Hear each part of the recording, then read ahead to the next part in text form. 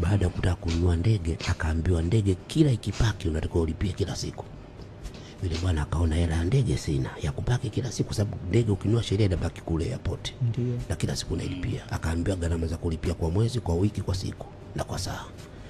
Akaona itanishinda, ndo akaamua kwenda South Africa. Unajua South Africa kuna zile kuna zile helikopta za michezo zile ambazo zinakuwa zishatumika sana, unachukua unaipiga rangi Kenya, mm. unaibadilisha unaweka masofa mapya na hizi headphones unaweka pale mpya, ndo amekuja ambao kwa huku unaweza ukaipaki hata Mbezi Beach, Sea Cliff, unaipaki bure, hamna mtu anayekushughulika.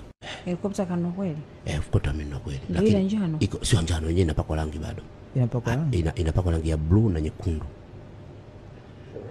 Ina- inapakwa rangi Wapi?